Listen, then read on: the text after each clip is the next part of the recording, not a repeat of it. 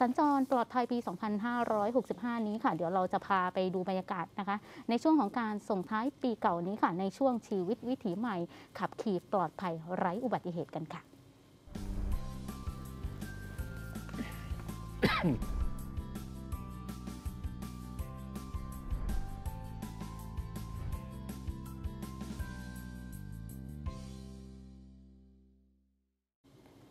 ค่ะสำหรับวันนี้ก็ถือเป็นวันแรกนะคะในเรื่องครับผมของการ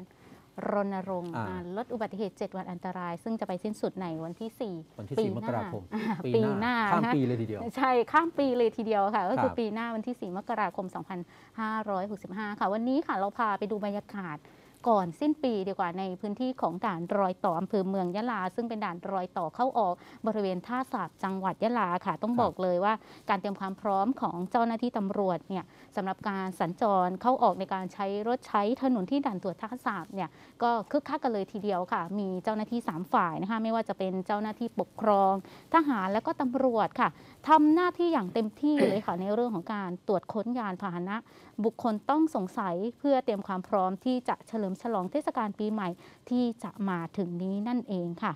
โดยเจ้าหน้าที่นะคะก็มีการทำความสะอาดพื้นที่บริเวณโดยรอบด้วย ช่วยทำช่วยอำนวยความสะดวกให้กับพี่น้องประชาชนค่ะ ในช่วง 7 วันอันตรายนี้นะคะ ซึ่งก็ถือได้ว่าวันนี้นะคะเป็นวันแรกของการเริ่มรณรงค์ในการลดอุบัติเหตุ โดยมีพี่น้องประชาชนค่ะสัญจรไปมา ตลอดช่วงเวลานะคะก็ถือว่าประชาชนให้ความร่วมมือเป็นอย่างดีกับเจ้าหน้าที่ค่ะ ทุกคนปฏิบัติตามมาตรการป้องกันโควิด -19 ที่ทางจังหวัดยะลายังคงตรึงมาตรการดังกล่าวไว้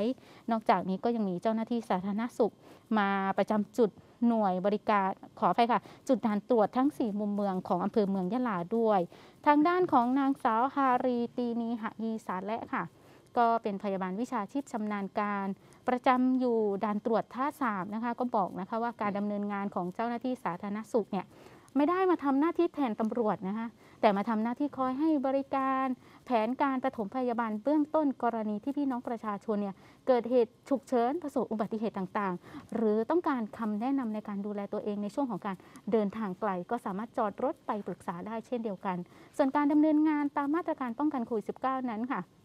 ก็ขอเน้นย้ำนะคะสำหรับในช่วงนี้แม้สถานการณ์จะดีขึ้นแล้วใช่ไหมคะ แต่ทางจังหวัดเองก็ยังคงตรึงมาตรการ DMHTTT นะคะ ซึ่งที่ผ่านมาก็ได้รับความร่วมมือจากประชาชนเป็นอย่างดี ทั้งนี้ค่ะก็ฝากถึงพี่น้องประชาชนค่ะ ที่เดินทางเข้ามาในพื้นที่จังหวัดยะลา เจ้าหน้าที่สาธารณสุขก็เน้นย้ำในเรื่องของการดูแลตัวเองให้เข้มข้นมากที่สุด โดยตลอดเวลาที่อยู่ในพื้นที่ของสาธารณะเนี่ย อย่าลืมนะคะสวมใส่หน้ากากอนามัยตลอดเวลา และทุกครั้งที่กลับไปยังที่บ้านหรือว่าทำธุระข้างนอกเสร็จเรียบร้อย อย่าลืมใช้เจลล้างมือเพื่อฆ่าเชื้อด้วยค่ะ